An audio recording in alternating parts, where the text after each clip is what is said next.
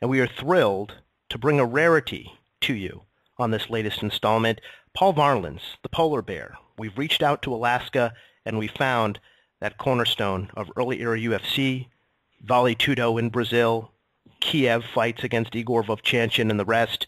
You know Paul, Paul Varelans as a combatant on the other side of some of the formative fights in this sport as we figured out what this whole mixed martial arts thing was going to look like. Paul Varelans was in there with a singlet, sometimes with a cut-off T-shirt, ready to figure it out himself under the bright lights. And we found him. Paul Varelans is joining us here on the sit down. We are thrilled to have you, Paul. Thanks so much for being here. Oh, it's my pleasure. Uh, yeah, I'm, uh, I'm making my reappearance. So yeah, that's that's. Uh, I guess I kind of am a rarity. Let's start by talking about that. You, you suddenly emerged again. Um, you were on the, mo- the roster of folks appearing on International Fight Week in Las Vegas as a UFC veteran. Why are you suddenly sort of back on the scene? You're on Twitter and stuff. What led to you kind of poking your head back out onto the surface? Well, it has a lot to do with um, a gentleman named Brian Moore who has a organization he started with, with Gary Goodrich called uh, Legends of the Cage. Um, and it's basically an organization that is uh, it, it reaches out and, and, and to help um, the old school fighters or you know even new new school fighters any, any fighters that need help um, its its main focus is to get back the fighters that were from the from the golden age or the, the beginning of it, and to put together events that can connect the fans with the uh, with the old school guys and new school. You know, I mean, it's, it's it's pretty wide open, but really, Brian and Gary are both about helping people out and, and helping people with maybe challenging situations, help them through it and give them a good foundation. And it's, there's great guys, and it's, it's a great organization. Uh, look them up on uh, on Twitter and, and Facebook. It's uh, Legends of the Cage, and I think it's uh, TLOC MMA on Twitter. I'm bad with that. I'm sorry, but sure, yeah, sure. No, we, it's good stuff certainly folks will be able to find it. So it's sort of a deal, Paul, where fans of the early era UFCs and early era uh, no holds barred events can can come out and meet fighters from that era, get autographs, pictures, that kind of thing. Absolutely, absolutely. There's an event coming up in Syracuse. Uh, it's a it's another expo, um, and it's going to be from the third to the fourth in Syracuse. And there's uh, you can if, you, if you're interested, they can look it up on the uh, Legends of the Cage uh, um, webpage. And I, and like I said, Gary Goodrich and uh, Gary Goodrich is on Twitter, and you just look up Twitter, Gary Goodrich on Twitter, and he, he's a good good starting off point. sure, sure, sure. Well, Gary Goodrich, you mentioned him. Uh, we've had him in the sit down in the past here on the Rewind, and as you know, I'm sure well, he, he's gone through some challenging outcomes yeah. as a result of his fight career and the shots he's taken. Uh, you sound pretty, uh, uh, you know, clear of mind here on the interview. Um, but you know, I'm sure you know of some other folks who have mixed it up, uh, especially in those early era fights, and emerged sort of worse for wear in terms of maybe short-term memory, in terms of like mental health and things like that. What, what do you make when you see Gary? Um, you know, what you know, what does that tell you? The lesson. Well, I'll tell you what there's a lot to learn from Gary. Uh, number one, that no matter what your situation is, no matter how challenging your situation may be, you can still give back. And in giving back, one gets more than they realize. And then as, as you know, Gary's has a little bit of, of, of, of some memory issues, but he is still so super active with helping kids and helping people and, and like with this organization. So, you know, it really there isn't no matter how no matter what you're facing, it's going to go better if you're out trying to create positive in the world. I mean, he's all about that, and I'm learning a lot from Gary. Gary's an amazing individual. He's he's very inspirational. He's he's very positive. He's a great, great guy. It's incredible what he did with his career. I mean, he just I had no idea how much fighting he did. I mean, he had yeah. like 200 fights and different things, and I thought had a pretty cool, interesting thing, and it was okay. But compared to Gary, he, I'm just a, you know, I'm a, I'm a wee thing. sure, you know? sure. So, but, what yeah. what is your life like these days, Paul? What, what are you up to in, in Fairbanks, and uh, what's your day to day like? Um, well, right now I'm actually just coming out of a workman's comp situation, which was a protracted five-year test of, of patience and um, patience and patience and patience. And uh, luckily yeah. I was.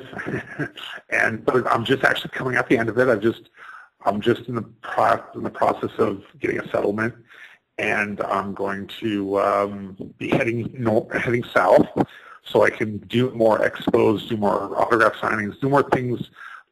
I want to see, do uh, motivational speaking with kids and and with people with uh, issues and things, and I'm getting more active. I went into a real hibernation, you could say, and I'm yeah. coming out of my hibernation. So yes. Sure. Yes. What was the the workman's comp matter? Did you get hurt on a job or something? What happened? Yeah, yeah, yeah. I, you know, I played football in college and high school and wrestled and UFC fighting and I mean, you name it, I've done it.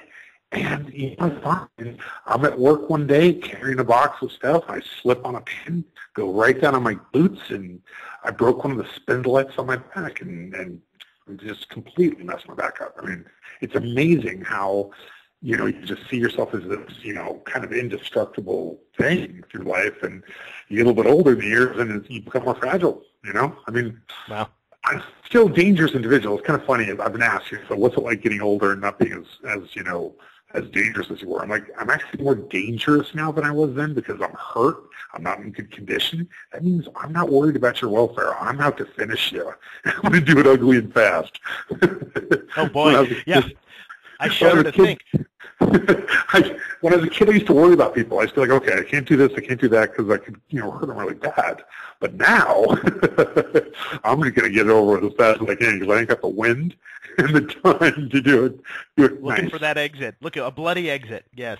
Um, yeah. so what kind of what kind of work were you doing, Paul, when you had this injury? I was office. I was working at Office Max. Um, I was manager of the uh, the furniture department, uh, which is you know I found it very difficult to work in the in the general like um, any kind of retail or anything where you're working with, just people off the street because everybody knows me from the fighting.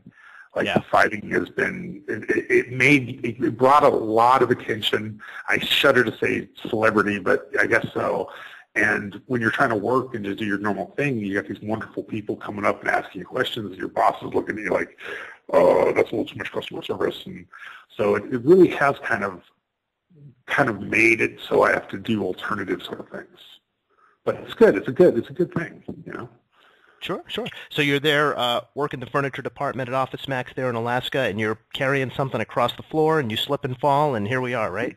Yeah, here we are. Yeah, with, with, with mess. I got four screws, uh, two bars. Oh. Uh, yeah, it's like a jungle gym in my back, and it never really took. So I'm still really very my, my back's still very much injured, and um, you know, the, I'm just glad the workman's comp portion is over, and now I'm going to have a new match in the ring with my my former attorney.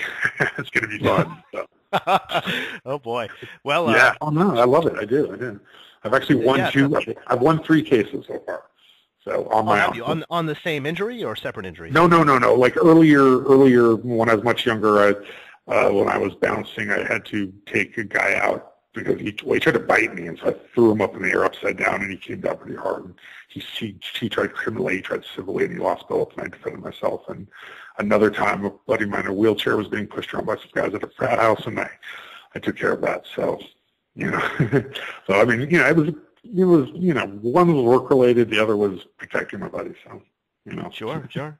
Yeah. You mentioned you mentioned bouncing. Um, yeah. I've always I've always wondered, Paul, uh, what was your let's say true fighting background coming into your UFC debut, UFC 6, July 14th, 1995, against Cal Worsham. They billed you uh-huh. as a trap fighter, as an exponent of trap fighting. Uh, yes, no yes, one, no one, perhaps you included, knew quite what that meant. But can can you tell us a little bit about you know what fighting experience, if any, you had before coming into the UFC?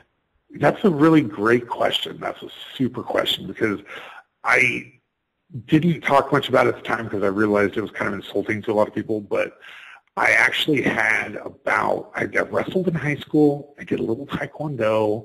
Um, I was working out again with with this martial arts called trap fighting, which was a, a little school with a, with a couple of kids, and and I saw my first UFC on a weekend. I think it was UFC three, and I was was having beers with my buddy, and I, we made a five dollar bet drunk that I could do the UFC or not. And so I go into the little school and I mentioned to these kids that I want to do it. But I meant like in a year or two or, you know, just some serious training. And I, you know, they listen and I go home and I come back the next day And they're like, we did it, we did it, we did it. I'm like, what'd you do? We got you in. You're in. You're in September's UFC, UFC six. I was like, oh my god. exactly, man. Exactly. I was like, oh, hey, guys, guys. Uh, but then I realized, you know what? This is a once in a lifetime opportunity. I mean, it's crazy, but the one thing I do have is I've never been knocked out. I almost got knocked out once by Volvonich, but like I've been hit in the head a lot, and you know, just coming up as a kid with shovels, trucks. I mean, I just I just don't go out real easy, and and so I knew I had that ability, and I started training my butt off. And to tell you the truth, I probably never would have made it to the UFC unless I was at this little school where they didn't care if I lived or died. They just wanted to get the UFC experience, and luckily, I had the, the ability to take a beating like a redheaded stepchild, and I had the power to put out some, you know, to put a good put, punch in, and my performance, because I don't quit, like my thing was never quitting. That was just unacceptable. So my performance was, it would Tank, when they stopped the fight with Tank, I was furious. I mean, he had his knee on my head, and he was, you know, scratching my head or whatever, but that's the last place in the world's going to hurt me. I was good. I could have rode that out all night. And by the rules at the time, it was tap out or submission. Or tap out or knockout. Sorry, tap out or knockout. Right. And I did neither. So I jump up. I'm yelling at John. Tank runs the other direction. And, you know, technically that was a, you know, that shouldn't have happened. But, you know, I understand John's a good guy and he was looking out for my welfare and everything. But the truth of the matter is I had four months of training at a little trap fighting school, which was hardly, you know, really had what I needed. And I found that out at the UFC. I luckily did well, and I started training at AKA before AKA got really big with Brian Johnson. Brian Johnson brought me in as, as a as a visitor, and he wanted to train for the UFC too. So we started training together, me, him, and a guy named Brewster Thompson, who's a judo player. Mm-hmm. Oh, so there you go. The, the Johnson. So, yeah, I started with really, yeah, Brian, Brian Johnson of, uh, yeah, AKA. He, he yeah, yeah, in, uh, absolutely. Yeah, Go ahead. Absolutely. Yeah. He, he was my he he introduced me to uh, Javier at, at Javier's AKA, and Javier never officially like represented me. He let me use his facilities, which was extremely generous and extremely wonderful of him. And we had the talk one time where I asked him, "Would you, you know, would you be my trainer?" And he said to me very, very wonderfully, it was most, it was the greatest compliment I ever received, but it was a little disappointing he said he couldn't train me in good faith because I had so far to go with just the basics mm-hmm. that he didn't feel comfortable with putting me in fights because I was already fighting. And he was just, look, he was being professional. He was looking out for my welfare. But then on the other end of it, he said something amazing. He goes, you know, Paul, you're missing in basic techniques. When you show up in the cage, you become something I've never even seen before. And I was like, wow, that's really cool. And, and you know, Javier doesn't just blow baloney people. And so, you know, it, it's, I was kind of a, an anomaly, I would say. You know, I had yeah. the size, which is not always good because when you've got the long arms, you get jammed up and it's tough to get, you know, it's tough to fight out of. So you got to create distance, keep distance, and use and strike from far away. But the guy jams you up, it gets real difficult. But, you know, it's, I, I learned and learned and learned and got better and better, and then the sport got banned. so the trap fighting school. So trap fighting was actually a thing at whatever gym was this just, was. It was just like a little like dive training facility. I mean, it was just a place that I, I saw it on the street as I walked in, and so it wasn't really a style. Okay, and so when I came back for UFC seven. I was no longer a trap fighter because they, they wanted me not to just exclusively train there, but they just didn't have what I needed. So we went, we separated paths. And so the UFC wanted me to pick a new name, just like they wanted something cool. I said, I'll just be a freestyle fighter. I just wanted to be freestyle. They're like, oh, that's not cool enough. That's not, that's not. And they kept hassling me. I'm like, okay, here, put this down. I put, I said, write this down. Put P-H-U-C dash U. They're like, hmm. they're like, no, no, no, no, no, no. I'm like, no, no, that's it. It's a Vietnamese style. Learned it in Vietnam and it's it's a real deal. And I got an extra like a thousand dollars for the fights, and I put that on the on one of the cards. and I wish I would have done it. I really, you know, that thousand dollars, it would have been worth it watching a girl walk around with a card with you. I mean, T-H-U is U, of course. But, Understood. Yeah, yeah. Um, so, yeah, so, uh, yeah, I really wish I would have done that. I mean, I wish I would have followed through, but I, I had it by the, by the cojones. It was great. Um, wow. So they, I So- think that, I was, yeah. So where was the trap fighting school, in Alaska or California? No, that was California. That was California. I'd been in California for a while. Yeah. Oh, okay. yeah. so where did yeah. you grow up? Where did you grow up, Paul? Where were you born? I was I was I was raised in Alaska, and I got a football scholarship to San Jose State University after going to high, going all the way through high school up here. Oh, okay. All right. So you are an Alaska native then. That wasn't a gimmick for the polar bear thing. No, no, no, that's the real deal. Yeah, the, nickname Polar Bear got stuck with me in college football when we were. Oh, yeah. uh, yeah, San Jose State. I actually played on the best team they had. Uh, we were 20th in the nation. Uh, we won the California Raisin Bowl, and uh, we beat Notre Dame. Notre Dame beat Stanford, and we were actually in a run for one. No, I'm sorry, we beat Stanford. Stanford beat Notre Dame, and then we played the Hurricanes, and that's the year they were undefeated, and they destroyed us. Had Wow. guys who could jump over our guys, but, but we had a really good season. It was cool. Great bowl game ring, and you know. Mhm. kinda- So when did you return to Alaska? I returned to Alaska in 2009 because Oh, okay.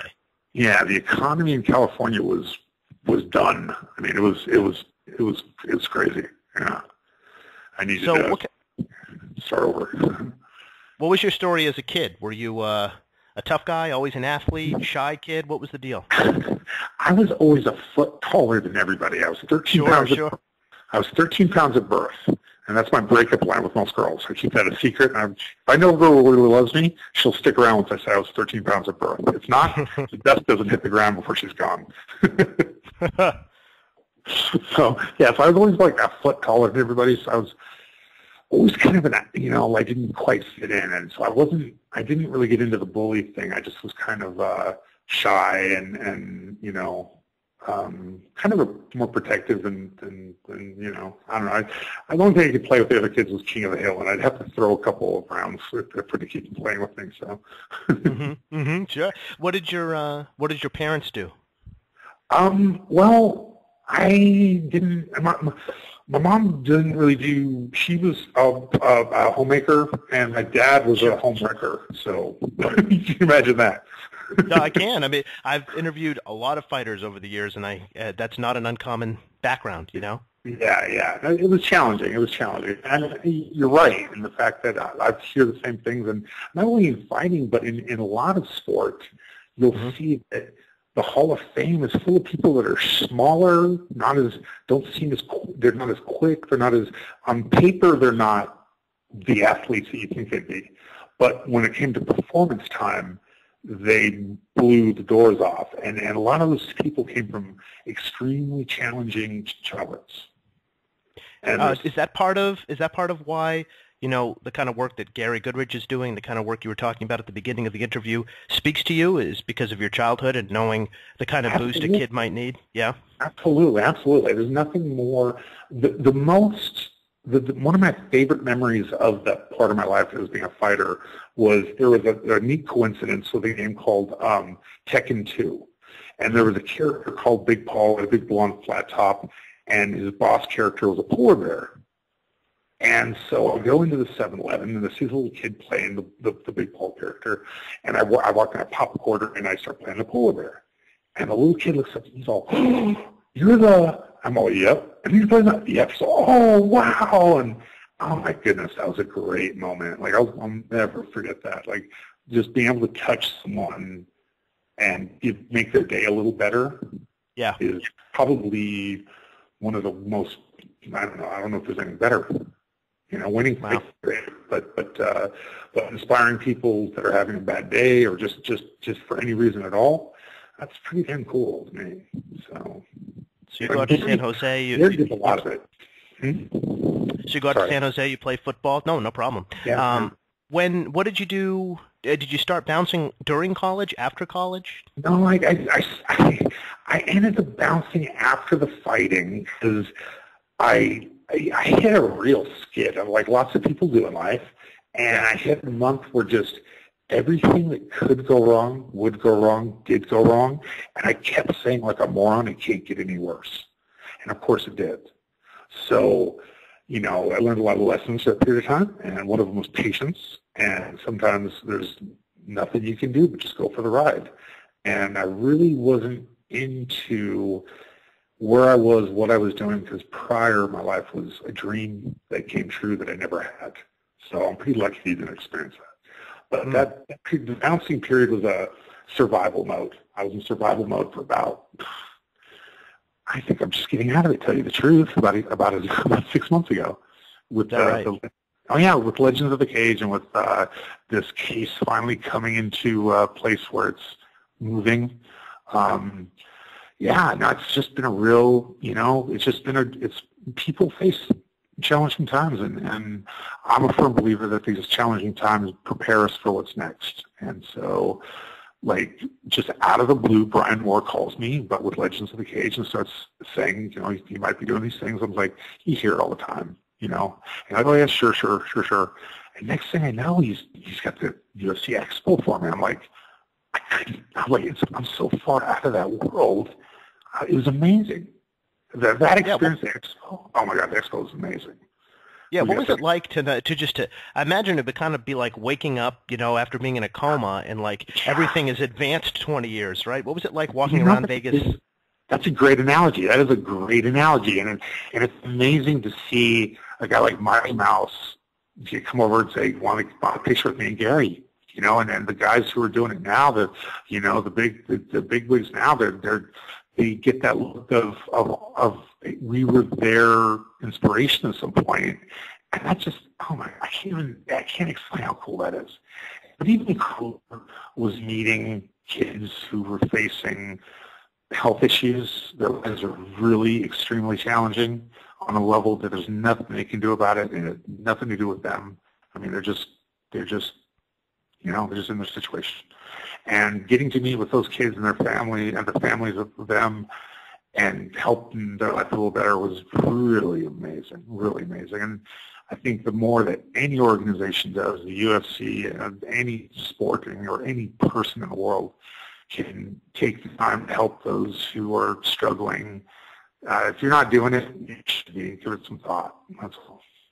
Yeah. Well, well, I'm glad to hear, at least for one, glad to hear that you feel like you're coming out of a rough patch. Uh, oh, you yeah. know, when a fighter kind of disappears as you did for so long, one one thinks the worst. You know, one worries. Yeah. You know what? You would have been right, except for maybe I was dead. it was bad. It was bad, and I, made a lot of bad choices, and I did a lot of things that were not, you know, probably for my best interest. But when you know when you hit a point where you've never you know you've just never been someplace like that before you just don't know what you're going to do because you've never been there. You've, you're not prepared for something. You just you make bad choices. And uh, sure. but you learn and then you share them with people later and help them not do it.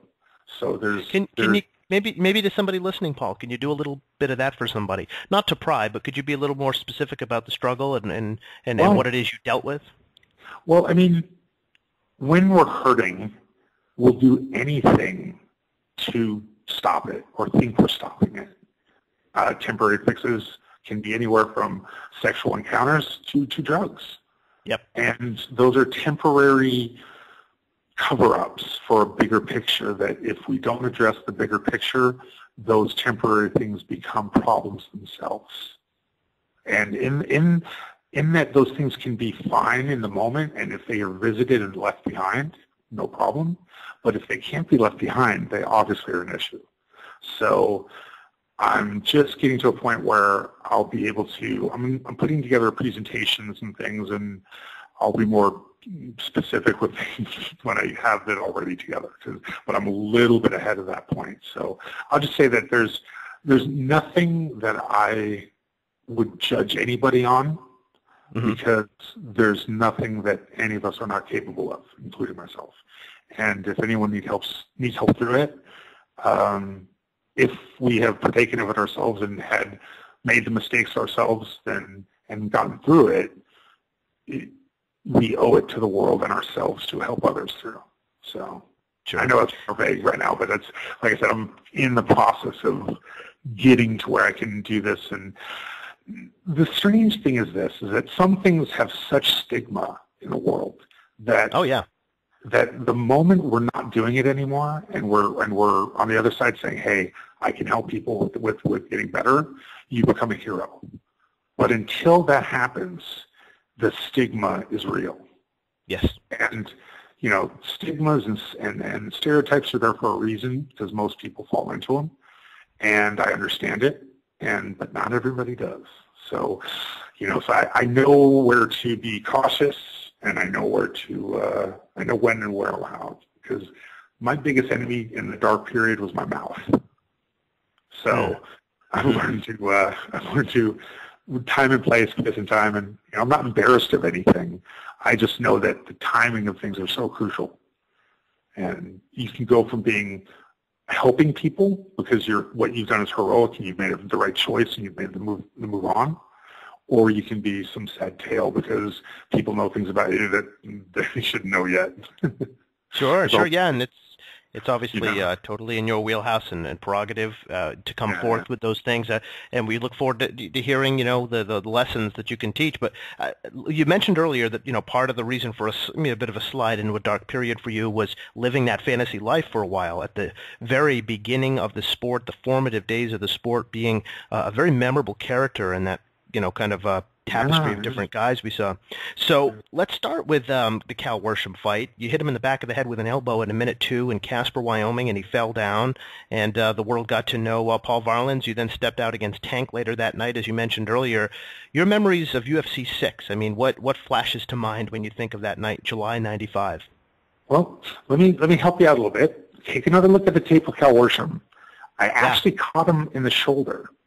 Oh wow! That was a, that was a body blow knockout which I've not seen any others. I've seen stomach punches where they go down and cover up because they get the wind knocked out of them. I've seen, um, yeah, I've never seen a body. And, and you take a look at the I hit him right in the sciatic nerve, right, but and I didn't mean to. I didn't aim for this. I didn't know that at the time, but I, but I was it was explaining later that I not I was able to knock him out because I hit the nerve that runs right down the neck, and so uh-huh. yeah, that was a, that was a, uh, a body blow knockout, and you know it's a real knockout because hands stop you can't fall forward with your hands. But you put your you pull your hands up. It's just a natural reaction. So that's one of the things I never get credit for. So I just thought I'd throw it out there. well, yeah, people have said that he just like completely lost gas in that thin air and just was basically quit, just just slumped to the canvas to quit. But you're saying the the the, the positioning of his body speaks otherwise. Well, I dare anybody to fall face forward with their hands down. Yeah. Try it. You mean without using your hands to brace yourself? Without using your hands to catch yourself or putting your hands up in front of yourself to protect your face. Right, right. Yeah, absolutely. So that, that's, that's, a, that's an involuntary reaction. So it's like that kind of, if everybody wants to argue about it, ask them to do the fall. So there you go. So, uh, so, so, so, what did it feel like? I mean, you're you're in these bright lights. You kind of got, as you mentioned, thrust into this position, and you just knocked the guy out. Well, you know what? Until I did it, I wasn't sure. I mean, we all think to ourselves, we can do this, we can do that. And we may even put our butts on the line. But when you get to the smoke and the lights, mm-hmm. and then you see the cameras, and then you realize to yourself, oh my God, cameras. I forgot there's cameras. The whole world's watching this. Oh my God, if I get punked, I'm going to be a punk for the rest of my life. I mm-hmm. wanted to run. but I knew it was too late. So I broke through the smoke. I made the decision. And when I got the win, when I when I got the win, and I don't know if you noticed, but the the cameraman leans in into the octagon, which I just earned, I believe. And the polar bear was kind of in charge, and I ran, I rushed the camera and headbutted the camera. Yep. And that was real. That wasn't staged. That wasn't people keep asking me that. I'm like, that was just a moment of exhilaration and like living up to one's expect one's dreams and then, like, I don't know, I felt like I owned the octagon at that point. Like, I just earned that space. And we did it, I was like, what are you doing in my octagon? Blam! And I just, that's, that's, I'm, I'm so glad I did it, but I'm so embarrassed at the same time. Like, it's embarrassing, but it's, it's just who I am, you know. It's, it's, uh, yeah, I, it was wonderful. It was Casper, Wyoming was so wonderful. And there's some footage for Entertainment Tonight was there and interviewing people, and they interviewed me before the fight. And then after the fight with Tank, I had this huge big swell on my face. I didn't look very good. And they, their, their, their, their interviewer comes rushing into my backstage thing, and he's ready for something other than I gave him because you can see, and they use this on, on Entertainment Tonight, he thrusts the camera in my face, and I'm kind of turned to the side. And he's all, so, so what do you think of the UFC now? And he's, mm. he's thinking I'm going to be all like, oh, I got hurt, boo-boo. But I turn to him, I got this huge swell on my face, like a grapefruit. and I go, I had the best time of my life. This is the last true bastion of freedom in the nation. If I did this on the streets, I'd be going to prison. I oh, loved it.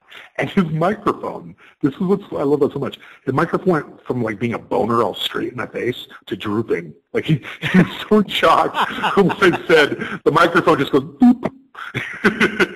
it's just like, look, look, his erection, it just fell. I, I, I wish I could find that footage. If anybody has that, I would get just about anything for a copy of that again. I lost wow, everything yeah. in a fire. Oh, did yeah. you really? I lost all my memorabilia. I lost everything but my car and the clothes on my back. And oh, a fire. When when did that happen to you? Recently or? No, that was that was um, let's see, that was 90, 97, 98, 98, okay, yeah. 98, yeah, yeah. That was, yeah, that was right after, no, no, no, I'm sorry, I'm sorry, it was I'm sorry, 2001. 2001. 2001. Yeah, 2001. So sorry, after yeah. your fight career, yeah. Oh yeah, yeah, it was way after the fight career. It was it was kind of one of the last things after I hit about a two month period where just literally everything. I, I, I don't want to. You don't want to hear it. You don't want to hear it. It's just. It was just everything that I that I loved was was revoked one way, shape, or another. And uh, you know, when when the UFC got banned by McCain, I couldn't believe that the lawyers for SEG, the former owners of, of the UFC, were very short-sighted, which I kind of knew already, but I, I, I called them up, and because, you know, usually we do contract negotiations, and they had, they had a hard time with things. I, I could handle my contracts. Um, mm-hmm. But I said to them, I said, you guys are going to uh, like like subpoena McCain, right? And they're like, what do you mean subpoena McCain? I go, he's a keynote speaker for the boxing commission. That is a yeah. conflict of interest. That used to be a law. You know that? It's a law that's disappeared. It's called conflict of interest. If you have money coming to you from an organization and you're a representative of for people and you choose to just independently step up and take an issue like that, and you're taking money from a group that has a they have another agenda, that is that is pure conflict of interest. And I'm not going to say who at UFC, but somebody who runs things at UFC basically told me if my head was on fire, I wouldn't take a bucket of water from you. Wow. Hmm. And well, and you know, and his reasoning, his really great reasoning was UFC seven, where I fought Marco Ruas for so long, um, they didn't buy enough cable time for that UFC. So no. half, half of the cable companies pulled the plug. Yeah. And this person's logic, this is logic, no wonder he didn't make any money at the UFC. Um, his logic was, I was sick. I was legitimately sick at UFC 7. I had a 104 degree temperature. I was white, sweating. It was horrible. Really? Um, yeah, yeah, yeah. If you listen to the footage, they talk about how I'm eating garlic and grapefruit the whole time to try and. Um, oh, that's right. Yes, the garlic. Yeah, yes, I remember yeah, that. Yeah, I was sick as a dog. I was so sick, and that's part of the reason why I did so well. Is I relaxed, took the pressure off myself, and said, "I'm just going to do as well as I can." And. I just, poof, poof. First two were so fast. I needed them to be because I had no energy. And when Marco Ruas was kicking me in the leg, that kept me the energy because it hurt so much. But but but the, the point of the story was the person who was one of the top guys, maybe maybe the top guy. I'm not going to say, but um, his his logic was that I was running a game, like a psychological game on everybody, that I wasn't really sick, and it was hmm. somehow my fault that that they they lost their money because if everybody would have known that I was really healthy, they would have thought me real. Like they wouldn't have felt bad for me. I'm like, right. They wouldn't have dragged the fight out. Is that what they mean? Yeah, his, his point was that the fight wouldn't have went that long. If, if Marco was not, I, I wasn't sick, he would have just took me out like that. I mean, this guy, wow. yeah, seriously, man. I mean, talk about delusional. But you know what? Because he wanted to, he wanted it to be that way. I, after that point, I was like, that's right, that's right, man. I'm the guy who took all your money. I took what, what, seven million, eight million? How many million did I take from you? You know, because once they're thinking that, what are you going to do? Cry? No, shove it up their, you know themselves. Sure. Well, they they lost money on because they had to refund people, right? Because they missed yeah. the main event. Yes. Yeah. Yes. And people, I came home. People didn't know if I won or lost. It was crazy. I mean, I was, yeah. you know, and he listen. Every show, they SEG thought every show, not everybody at SEG, but let's just say the head guy. No, I did. Well, I didn't say that. Um, was they had a we're going to beat this horse till it's dead, then we're going to walk away. Mm-hmm. They expected every show to be the last one. Mm-hmm. And when I think about what a money grubber he is and how much pain he must be in when he sees how successful he is, I sleep well at night. well, let me tell you this. I will say this. Um, if if that if that night, if Marco Ruas's performance at UFC 7 was him feeling bad for you, I'd hate to see what he would have done if he really wanted to kill you. Absolutely. Marco Ruas is an amazing competitor. I mean, that, our fight was so like it was such an exploration of each other. We were doing things that were just we were like doing different things, like the foot stomping, me grabbing over the cage because I didn't want to lose my back. You know, like I knew you don't lose your back, and like just we just were doing different things, and it was you know I got him in that reverse naked choke, and I'm not sure. I can't prove it. I don't know. But number one, let me state this. He didn't break any rules because there was no rules at the time about this. But when I got him up in, the in the rear, that, that, that, the guillotine, reverse guillotine, and he got him up in the air, I would have, if I could have held on to him, rolled to my back, come up in superior. But when I got him up there, I couldn't get his head to stand. And it mm-hmm. felt kind of, I don't know, it was sweaty. Let's just say it was really, really, really sweaty. And no matter what happened, he's a cagey fighter. I respect the hell out of him. And his, he respected me. I respected him. And I put pictures of him winning in that fight on my Facebook page all the time because his, the look on his face is of relief, not of dominance, not of, you know, he just had a cakewalk. Is that you know that he just had the fight of his life, and that's all I've ever wanted was to do the best I can and have the respect of my opponents and my self-respect. And, you know, that's what it was about for me. And like I said, Marco was, I have so much respect for him that he's incredible. He's so incredible. So please don't take anything other than that from that from what I'm saying. Sure, sure, sure. Yeah. Uh, back quickly, if we could, to UFC six. After Worsham, you fought Tank. Um, yeah. We we already kind of discussed that. Um, Sorry, got ahead of you. Sorry. no, no, that is fine. Not at all. That that's great because I did, of course, want to get to the Marco Ruas fight. So it was nice to sort of check that box. But um, there was an interesting kind of series of backstage occurrences there um, at UFC six. Um, yeah, after yeah, the the tank fight, uh, Pat Smith, who was supposed to fight Oleg Taktarov next, uh, came right. down with some kind of illness or ailment backstage, and right. uh, everyone started scrambling, trying to find a replacement. At one point, um, the aforementioned Brian Johnston is approached. Right? I wondered right. if you could recall recall all that chaos for us. It's it's an interesting part of history.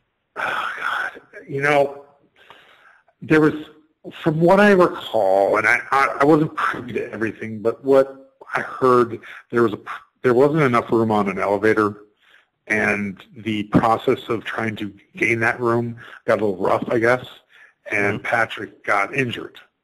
Oh, really? And Tank used to go rolling around with a lot of guys. Um, a very young Tito Ortiz, I believe, was one of them. Mm-hmm. Um, but I don't think he was in the elevator at the time. I don't think he was one of those guys. But Tank had a whole group. He had more. He had as many people with him as, as the Gracies would. You know. Um, yeah. Uh, so his group were punks. I'm not going to play around. They were punks. Uh, they were bullies. They were everything that he he says he is. They were, and mm-hmm. um, and they, they they they jumped they jumped after him. Yeah. So I mean that's what I didn't see, but the word is, and I believe it because I know from the source. And uh, you know, like your atypical bully you know, they they basically were looking for, you know, the any any way, shape, or form they could give their boy a, a shot. There we go. So you know, that was that's that was what I you know kind of weeded out of it. Now I've got no love for Tank. I love every one of the guys I fought except for Tank because of well because of how he is. I mean, you know, yeah. I mean he's just he is the way he is, and hey, I, at least he stands he stands by his ways. I'll give him that. He stands sure. by who he is. He doesn't make he doesn't mince words about it. But um, you know, if you ever get a corner with him, take him off fast because he'll he'll do anything. Never so, never underestimate this. Yeah, you know. Sure, sure. There's the tank the tank part. Um, they, they were looking for an opponent now that Pat Smith wasn't going to be able to fight Taktarov, and right. did they approach right. they approached Brian at one point about trying to do it. I am okay. I'm not sure what happened with that. I know that I think they did, but I think Brian wanted to do it in the time period that he was planning on, which is mm-hmm. smart. Which is that's was the difference between that's why that's why Javier worked with with Brian because Brian was he understood how to do things the right way. Where you know, like you, you, you use the time that you got to prepare to to max, and and Brian was God, he's an incredible athlete. He's so skilled, and yeah, you know, yeah, if you could have melded us together, we would have, we would have been perfect. right. So what ends up uh, ultimately happening, interestingly enough, was uh, uh, Anthony Macias goes out there with Oleg, yeah. and it's uh, what was the feeling backstage? I mean, that was pretty much that pretty much went down as as the first work fight in UFC history. Both guys were managed by Buddy Albin, the same guy. Yeah, so yeah. You, you know, it, that was you know I don't know if you remember too. He was the same guy. I think that I said jokingly during an interview. Somebody said, "What would you do in this that would be different than anybody else?" And I said, I think I said throw somebody out of the ring. And somebody, I'm not sure if it was him, but said he was, he worried I was going to do that. But I really didn't even need that. I was just making an off-cut remark, and then it went all crazy. But yeah, you know, I, I, God, I guess so. I guess so. I, I hate to think that because it really damages our lineage. But if it is, it is. You know, if it is, it is, and I'm not going to argue it. Do I know personally for sure? No. Do I want to say it? No. But could it have been? Was it probably? Yeah. Sure. Well, that night, Paul, are you watching a monitor? Are you just basically checked out and not paying attention? Were you part of the buzz was, around? Well, no. After well, after um, after the tank fight, I was pretty swollen up. I was pretty swollen up, and absolutely, and and I was actually kind of bummed because I didn't think I was coming back. Like I didn't, you know, like I was, I, you know, I didn't win, but but because of, you know, like they came actually not not uh, Art Davies and and Campbell McLaren came to me and they're like, we loved it. It was awesome. You get another shot. We're sorry about that. Shouldn't have been stopped. Like Campbell McLaren and Art Davies were awesome. When I when I complain about SEG, it has nothing to do with Campbell McLaren or Art Davies. They were both stand-up guys who were very realistic and very, very, very human and very, they cared about the fighters. Um, So I, I, just want to make note of that. Um, sure. Yeah. So they came and let me know that I was going to be in it, and then I was like, okay, cool. I can. I got some time to really do this thing right, you know. And um, actually, yeah, I got in trouble at dinner afterward because I told one of the guys that I only trained for four months. And he yeah. started yelling at me.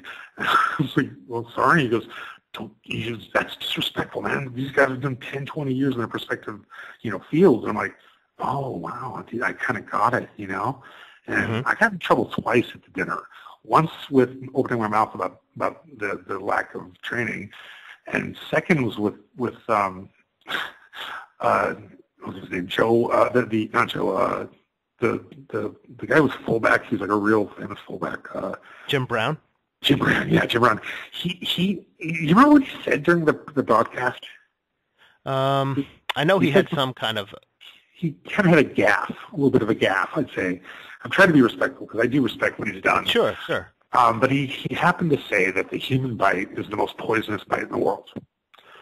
And when I was at the dinner, and he's kind of a couple people down from me, as he as I hear that for the first time, I choke and I start giggling, you know, because it was fun. And he looks at me, he's all, you got a problem? I'm like, sir, no, I don't, I don't, I don't. Just sorry, my bad, my bad. You got, you gotta say something, say something, boy. And I'm like, oh, boy, really? You know, that's you know, if you're gonna get a guy going. And I basically said, you know, but I just explained what he, you know, what the thing was, and he pretty much flipped out, and I decided to kind of go down a couple more spaces and stuff because, you know, mm-hmm. I really it was disrespectful of me, but I couldn't help it. You know, I couldn't help it because it, it, the human bite isn't poisonous, and I should have kept my mouth shut. like yeah, I said, I, I could, I could definitely see at least cracking a smile if somebody says that with a straight face you know, but he's a legend. The guy's a legend, you know. So, right. So I mean, I mean, I, I, I do respect. I have respect. I respect legends and I respect people, and I shouldn't have said what I said. And I, especially, you know, I'm a, I'm a little older, a little smarter, but you know, it was funny. Sure. So you were you were a bit worried, uh, or at least it crossed your mind after you lost to Tank that they wouldn't have you back. Yeah, no doubt, no doubt. I, I mean, I was, I like that performance. I was very frustrated. I mean, I was, I was kicking from the bottom position. John couldn't see it, but I was actually kicking him, and he was all he was doing was holding the fence and squeezing out on my head with his knee, no striking. And I was kicking him, but I felt like nobody could see it, especially John, who needed to see it. And I was, I'll tell you what, the I can't remember the last time I thought about quitting in a fight. Yeah. I'm thinking about cute girls in the, in the stands. I'm thinking about my laundry. I'm thinking about, oh, did I get that ticket signed off? I'm thinking about everything but quitting, mm-hmm. Mm-hmm. no matter how bad it's going. And I've had Mark Kerr in Brazil painted it to be really good, but once again, didn't quit. And, and it was, I got a standing ovation. It was amazing. Brazilians great. Um, but yeah, so I mean, that's, that's my, legacy and my strongest, you know, the thing that I like to be proud of most, is that the quitting is just not an option. That's not smart, by the way. If you're listening to me, but uh, you're about to get your arm pulled off, tap out. Just tap out. Tap out. yeah. Mon- not monkey see, monkey do as far as that goes. Yeah, exactly. A, a, a guy in Kiev, in, in Russia, he made me separate his arm. He wouldn't tap. I had him in the middle of the ring, had, had him in a key lock, just there was he was gonna go nowhere, and I put it in as slow as I could because I didn't want to hurt him. I, I had respect for the guy, and he wouldn't quit. And so I'm just slowly but surely putting this thing in, and I can hear the ligaments tearing and muscles ripping. I'm getting sick to my stomach. I don't even. I'm not enjoying this. And so I drag him into his corner. I'm like, would you throw in the, the dang towel? You want me to kill him? Mm. And so they finally did it. And I look at, they raise my arm, I look over, his shoulders hanging down. Like, I mean, I messed his shoulder up. I, I don't want to hurt anybody long term. And, but I realized something. My little rule about um, never tapping out uh, is kind of ridiculous. But I can't, I can't not be that way. But mm-hmm. I realize that it's not the smartest thing to do. You know what I mean? Would that have been a poor uh, Valeri Nikulin? Was that the person that you yeah, did that to? Yeah. Yes, yes, yes, yes, yes. Yeah, March tough, March 30th, 96, Kiev, Ukraine. Uh, I'll never forget the buzz about that because, of course, the UFC had, was was a bit of a was a bit of a smash on U.S. pay per view as this just yeah. you know new blood sport, and then you heard about this event that was being staged and you know completely built in the image of the UFC in, in an exotic locale. But he always was paying, uh, paying back. Yeah, absolutely. Yeah, there was a kind of a split with SEG there, and he was going to take him on. He was even going to use the word ultimate in promoting the event, and uh, Bob Meyrowitz was uh, making the long-distance phone calls to try to stop that, as I understand it. But uh, ultimately, the word ultimate is scratched out in black on the canvas that night if you go back and watch any of the fights. Um, but that aside, you're in there, you're in the tournament. Uh, you had that aforementioned fight against Nikulin, which you won, and then fought Igor Vovchanchyn, who plus 18,000 people. Uh, and you're in this tournament, and it is there's mob influence. There's you know the tension over with the UFC, feeling like uh, it's a sabotage attempt. What were just the politics, if not the fights, in the air there in Kiev in 1996? Well, okay. Here you want to you, you mentioned the mob, and like every time I fought overseas, which was a lot, it was mob money. And on my way out of Kiev, I mean, they've got guys with machine guns, and I'm in bulletproof Mercedes Benzes, and I'm a little stressed out. I've never had this much security. I've never, never known I needed this much security. Yeah. And so on the way, actually on the way out to the airport, I, I go to thank my guys with, you know, 10 guys with machine guns in the back of this Mercedes van. And I'm like, hey guys, you know, I felt so safe this whole time. Thank you so much. And they're like, one guy laughs at me, and I learned the true meaning of the word stoicism. Mm. Rus- Rus- Russians not only suffer, but they do it with pride. It's part of their identity. Mm-hmm. And this gentleman says to me, he goes, you're very funny. You're, you're very funny. I'm like, what do you mean? He goes, you're protecting us. I'm like, what? You're the, okay, when you leave, my family, we put the event on, yes? Two other families bigger than us, we don't, we don't involve them. They're not happy with us. You're gone, we're dead. They won't do nothing to us while you're here. But when you're gone, we're fucking dead. And they all laughed. Wow. They all laughed together as a as a group, like they were going to go down fighting. And, but they knew they were dead. They were outmanned, outgunned, and I was like, just a shiver went through me. I was yeah. sitting with dead men. So why were they why were they so, so sure that somebody was going to be mad that they made this much money on an event or something? Because because the families, the other two families in the city, came to him and said, "What were you thinking?" I mean, I, I could paraphrase what he told me, you know, but but basically, their friends already let them know that since they didn't involve them with the, with it, um, they were going to. I see. They cut them out of the action. Yeah. Exactly. Exactly. Out of respect, a respect thing, they should have done something, and you know, and it's and it's not the foot soldiers' job to decide these things; it's the upper guys. So, you know, sure. yeah, I had a lot of mob experiences. It was really kind of crazy. Yeah.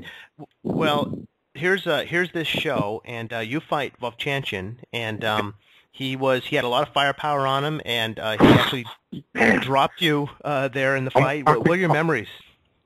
Um, you know the squiggly lines you see in those in those those those kind of imaginary TV shows of what it's like being knocked out, or sure. like when Brad Pitt goes gets hit and goes into the water during Snatch. A mm-hmm. lot like that. Like I'd never been that close to being knocked out before. And if if if um, the the referee who was uh, dang it, I should have that. Um, Andy Anderson. Thank you, Andy Anderson. Didn't intercede. He probably would have knocked me out. And yeah. I've never been that close to being. He hit like a ton of bricks. I, he was like Popeye, except for big arms. He had big fists. They didn't look real at the end of his little short arms with his fists, they they look like like hammers, like big sledgehammers, and they hit just like it. I mean, I'm yeah, me sitting. I was putting I was pushing my way back up when Andy stuck it in because I mean, I'll keep coming till I'm done. But man, I've never been hit that hard before. And there's a picture of him doing, I think, a Superman punch to Sapp and I think he knocks Sapp out with that Superman punch, and he really looks like Superman flying through the air. He's got a big fist in front of him. He's jumping up high to catch him in the chin. And I don't even remember the punch he hit me with. Like it was just, it was boom. And I was like, wow. Like, Did you have any clue coming in, Paul, what, what he was capable of? Had you heard of him? Had any chance to get the measure of him? I never had a chance to the measure of the rules. Okay, like each each each fight I went into had a different, especially overseas, had a different set of rules and regulations. When I fought in in Pancrase in Japan, uh, that was a lot of rules. I mean, there's a lot of things that are different. And one of the coolest, I wish I could get a copy of that fight. That's another one I wish I could get a copy of. I'm fighting Yanni Agasawi. He's a great competitor, and I had learned a lot of locks and, and, and a lot of locks and, and submission holds and all the things you need for penetration. And they weren't expecting that from me. They thought I was going to be this brawler, dude. And I came in, and I, I respected the rules, and I was doing. It, it went from me being an outsider. I could really feel the difference between the fighter's attitude of me within a, a minute or two of the fight, and all of a sudden my corner got filled with their guys and and and me and I were having a good fight. We had like we were within one point of each other, and the referee starts giving him points that weren't his, and he stops the referee and and and, and he takes the points back. It was amazing, and I I hit him with an open palm strike. That's what you do when you're standing um, or no, when you're on the ground. So I hit him on the ground with open palm strike, and I broke his nose. He was bleeding bad, and they they took a lot of time to get his nose back together. And in Pancrase, it's really quiet. I mean, you can hear a pin drop. I've never been anything like that before. And there's like 35,000 people, and the the the rings lit up, but the the you can't see the fans, and they're silent. And so out of the blue, about five minutes in, somebody goes, and I'm like, so I waved where I think it is, and the mm-hmm. crowd goes nuts in that section. So I do this this standing wave like in a circle, and the crowd goes nuts as I do it. And the promoter's so angry at me because that's not what they do with these shows. These shows are supposed to be very reserved, very respectful, this blah blah blah.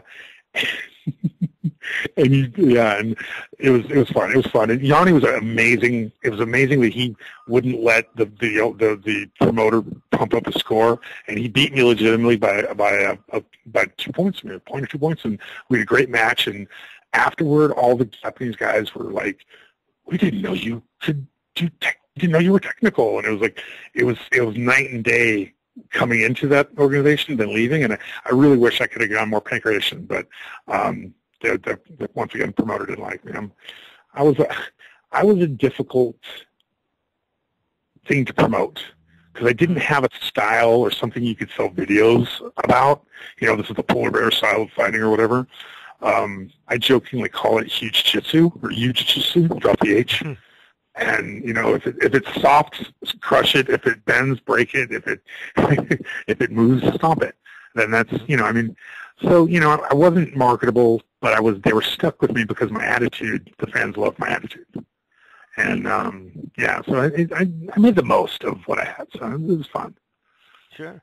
How do you um, do you wear it as a badge of honor that your big calling cards in the sport, besides besides let's say the Worsham win were these just devastating losses to Ruas and to Kerr and to Igor.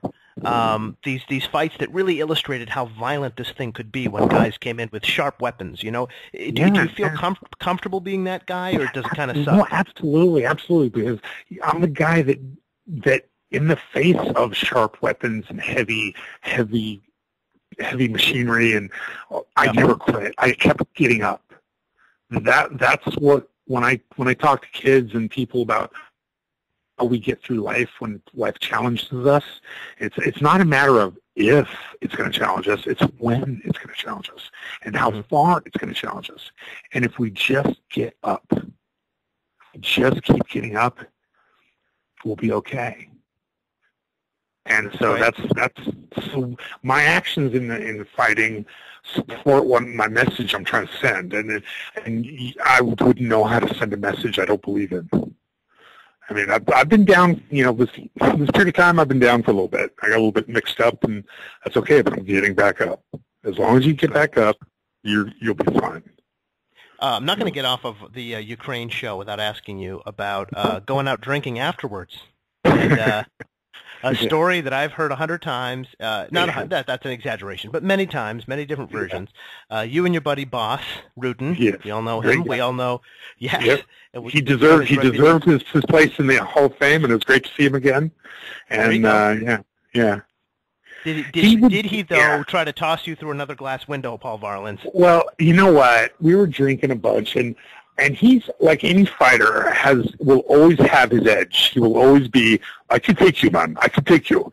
And of course, I'm a fighter saying, no, no, you couldn't, no, you couldn't. And the poor Russian mob guys are like, oh my god, oh my god, they're going to fight. You know, like, how do we, who do we protect? What do we do? And every club there was like a mixture of a strip club, a restaurant, a dance club, and uh, and whatever else, you know. Sure. And they all had American names. And I think we were at the Chicago club. And so he's like, I could, he's all, I could just throw one kick and knock you out right now. Not if I choke you. And as I go, when I go by him, I, I try to choke him, and he, he, he, what did we?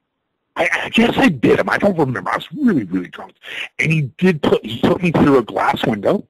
He mm-hmm. just did a he did the judo throw, you know, when you get somebody gets behind you, and I went right over the top. I was drunk as snot, and uh, there was, you know, I mean, I, I, man, that's awesome. I got thrown through a glass sink with, with by Bas Rutten, and and but the scary part, the scary part was at the hospital where I had to get sewn up before I could get on my flight.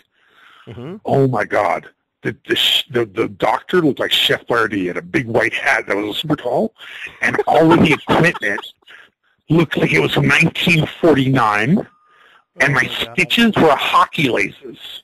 I was like, this is like, before the movie Hostel came out, I was having a Hostel moment, seriously. Like, wow. it, was, it was nuts, man. It's all the little things that really get wild in, in my stories, you know. It's just, yeah, you know, I would, hey, I, I wear it a badge, badge of honor. Bas Rutten's one of those bad men in the world of all time, and that me and him he goofed around is awesome. Yeah, yeah, that's the thing about that story is that it wasn't a real beef fight. It was really horseplay, that, but it was drunk horseplay between two fighters. Yeah, so, you, yeah, exactly. You go through the mirror. What what kind of injuries? Where did you get cut going through the, the, the... My, my forearm, like on my elbow, got gashed open, and you know, he didn't mean to do it. And uh, you know, I we were like I said, you you get two asteroids heading at each other. There's gonna be collateral damage. I mean, you know, the, the precious thing, you should have seen these guys with machine guns stressing out that we're, we're going to hurt each other. do we shoot one? Which one do we shoot? I don't know. What do you do? I don't know. It was great. Wow, what a what that that's quite a scene. That's that that's like HBO miniseries quality stuff right there. It really is. Yeah, yeah. It's just, yeah. So there's so there you go, and you get stitched up. You're on the plane, and uh, that's your U- Ukraine experience. What was for That's people who didn't know, forever. I was gonna, yeah, I was gonna say, for people who didn't really know, what was what was going on? Because the UFC, you know, had been a smash, made a lot of money uh, in those first yeah. few shows, but it was kind of, it was, it was already starting to hit those rough political waters. Other people are starting to defect, start set up other shows. Um, what was it like in the business at that point in time? Very like mm-hmm. bike, ba- backbiting going on. You know what? I get a call from Bob Meyrowitz telling me not to go do this fight in Russia. Yeah. And I say to him, I said, Bob, are we talking retainer? Are we talking some sort of commitment? What are we talking here? You asking me a favor? I don't remember knowing you that long and didn't know I had you had one coming. So what are we talking professionally now, Bob? And he was like, you might want to think twice about blah, blah, blah, blah, blah. And I said, well, what you just said to me, if I just recorded it, I could take you to um, oh, if I was recording it, maybe I'm recording this, who knows? But if I did, I could take you to court and take everything you own. So if I was you, I'd play nice. And so I think that's probably where bad blood started. That's probably why I imagine that. Other there you go. But, you know, but but I mean, he was asking things of people that were unfair. How can you not give me an opportunity to go experience Russia and make money? Because that's all I'm doing. I'm a fighter now. I had to make a choice career-wise and he wasn't taking there wasn't they weren't they wouldn't take care of anybody so yeah it wasn't going to happen people went and did there was no backstabbing if families take care of each other if he wanted us to be a family he would have took care of us like a family yeah yeah. You know, was that um was that a decent payday out in, in, in Russia? Did that was it one yeah, of those like yeah. yeah I made more money I made more money out, like smaller shows than I did at the UFC except for UFC seven. Well, I'm in mm-hmm. the final, but um yeah the UFC was you know, they they just they didn't have a long view. Bob, no, Bob Meyrowitz did not have a long view, mm-hmm. and and I would talk to him about it and try to be cool with him. And matter of fact, one of the nights, this is great, at UFC six, sorry, but uh, Brian Johnston almost hit Meyrowitz in the head with a champagne bottle because Meyrowitz was talking shit about me behind my back. I could hear it, but I was playing it off, and I look out of the corner of my eye, and Brian's got a bottle backwards in his hand, and I'm like, oh boy, I'm over, but Brian, no, no, no. He goes, that guy's a son of a bitch. And Brian's a loyal, a loyal friend, a, yeah. a, fiercely loyal friend. He he does not let people hurt or, or or you know his friends in any way. And it was it was um, I was proud to be his friend in that moment it was hard for me to stop him, but I had to do it for his own good. Like I wanted him to do it because I wanted to see the action, but I didn't want him to ruin his career and and, and get in trouble. So yeah, well, let's, Brian can't let's quickly, uh, let, us talk about Brian real quick here while we have the chance, Paul. Yeah, obviously yeah. Um, he had a very um, it was a really heart wrenching moment for a lot of fans of the sport at that time when he suffered a stroke, and it was just abrupt yeah. and people weren't sure how's he doing and, and, and how how did you, if at all, kind of help them through that that well, medical challenge? I you know I wish that's I'm glad you asked that, and I'm I'm disappointed in myself that I was I was so wrapped up in my own yeah place, and that's why I said earlier, if you're in a bad position, it's it's great to help others because you can shake off your own laments, you know, your own your own haze. And I think that if I if I would have done a little, tried to do a little bit more of that, I may not have gone so long and so dark with where I was at. So I like that you bring that up. I wish I would have. Yeah. Could have helped more. um, or no, would have helped more. I could have, I just would have helped more. Um, but what I'd like to say about Brian is that he had, I think that stroke was an was, and this is going to sound weird, but it was an opportunity for him to be the man that he is. He's always mm-hmm. been. But but the, what he faced and what he's made it through and how he's how well he's done it with such um, grace and and and and strength uh, is is testament to the people that that you know push themselves and and make take take risks and and have make sacrifices for the things in their lives. And you know that's he he's like I said almost an inspiration. There's so many guys I think of that that have come up with some bad situations and you know, it's just it's it's not what happens to you; it's, it's how you deal with it, and and you know, and maybe not always during, for my case, but like, like afterward, you know. um, sure, but, sure, sure. You know, it, how's he it, doing now? When's the last time you talked to him? He's in Arizona, and as a matter of fact, we were trying to get him to come out to the expo in um in in, in Vegas, and he wasn't. He didn't feel comfortable. Um, I guess he's had he. It, it, I guess with the situation, it gets kind of worse, and then and then other times not so worse. And but I've talked to him. Um, he's in Arizona. I'm almost positive he's going to be out with us with the Legends of the Cage at the uh, the expo in in um, Syracuse on October 3rd and 4th. Uh, and so I'm really looking forward to seeing him. I haven't seen him in a long time. He um, when we were in San Jose he was out in the Delta area. He had a home in the Delta area, and um, it was really far from where I was. And and, and in my little weird space time there, I, I I'd lost my car, my license. I was really boiled down to a very small place in the world, and so. But that's no excuse. I should have found a way out there. Mm-hmm, mm-hmm, mm-hmm. Yeah.